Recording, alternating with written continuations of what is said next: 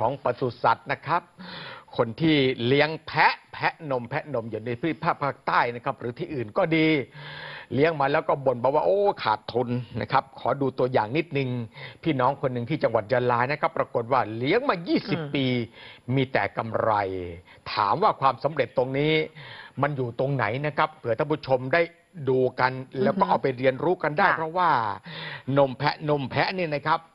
มันสามารถที่จะเป็นที่ต้องการของตลาดมาก โดยเฉพาะพี่น้องทางภาคใต้ อืมนอกจากรีดนมแพะแล้วคุณปอยพัฒน์นี่นะเนื้อมันนะครับอะเนื้อแพะกินได้เอาปะไปกินได้ อ้าวโอ้ขายราคาอ้าวแล้วดีเขาบอกว่าด้วยเหม็นสาบไม่ใช่เหรอคะ โอ้ยนะครับโดยมีขบวนมีกระบวนการอืมมีวิธีในแม้กระทั่งขนแพะนี่นะ อือฮึส่งออกต่างประเทศเลยบ้านอืม เราไม่เพียงพอเลย เพราะฉะนั้นเป็นตัวอย่างของความสำเร็จแห่งที่ว่านี้นะครับทำมา 20 ปี มีความสำเร็จอย่างไรบ้าง ชี้ทางรวยให้ท่านเลยนะครับ วันนี้ผู้สื่อข่าวของเราทางศูนย์ถาภาคใต้นะครับ มูฮัมหมัดรุดดินเชคฮารุน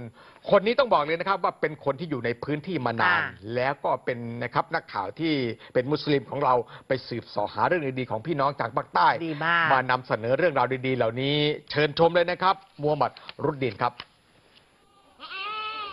แพะนมพันธุ์ซาแนนจำนวนกว่า 70 ตัวของเกษตรกรมะอาแดวัย 56 ปี ถูกเลี้ยงไว้ภายในโรงเรือนที่บ้านปายอ หมู่ 2 ตำบลท่าสาบอำเภอเมืองจังหวัดยะลา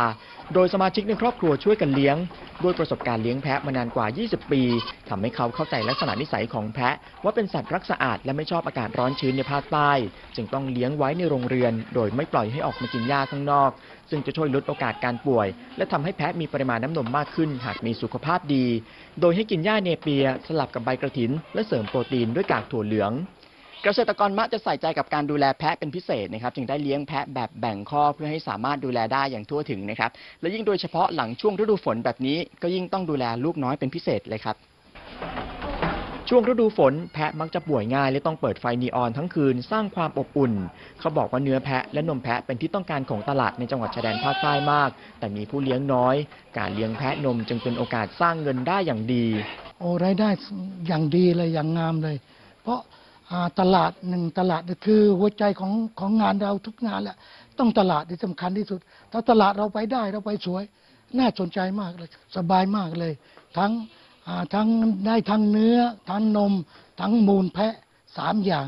เราจะได้เลย ทั้งได้รายวันรายเดือนรายปี แต่ละวันสามารถรีดนมแพะได้ประมาณ 30 กิโลกรัม จำหน่ายกิโลกรัมละ 80 บาท นอกจากจะส่งจำหน่ายให้ลูกค้าประจำแล้ว ยังเป็นที่ต้องการของผู้ป่วยด้วย เพราะนมแพะมีคุณค่าทางโภชนาการสูง นมแพะดียังไง ก็นมแพะก็หนึ่งเขาเรากินแก้กระเพาะแล้วก็โรคหัวใจ ก็โรคหอบเด็กตัวเหลือง ประมาณนี้ค่ะ แล้วก็โรคเกาก็ได้ค่ะ ท่านนบีก็ก็เลี้ยงแพะอยู่ก็ก็สอนให้เรากินนมแพะเยอะๆก็นมนมแพะก็แทนนมแม่ได้ค่ะการเลี้ยงแพะนมจะมีรายได้รายวันจากการขายนมเฉลี่ยวันละ 2,400 บาท และมีรายได้รายเดือนจากการขายมูลเฉลี่ยเดือนละ 1,000 บาท และมีรายได้รายปีจากการขายแพะเฉลี่ยปีละไม่ต่ำกว่าแสนบาท ขณะที่ต้นทุนค่าซื้อกากถั่วเหลืองเป็นอาหารเสริมเพียงวันละ 17 บาทเท่านั้น ส่วนหญ้าเนเปียอาหารหลักก็ปลูกเองบริเวณข้างโรงเรียน ปัจจุบันเกษตรกรมะได้เปิดศูนย์การเรียนรู้ พร้อมเผยแพร่แนวทางการสร้างเงินด้วยการเลี้ยงแพะนม มูฮัมหมัดริสตีเชคคารูนสำนักข่าวไทยอสมทรายงาน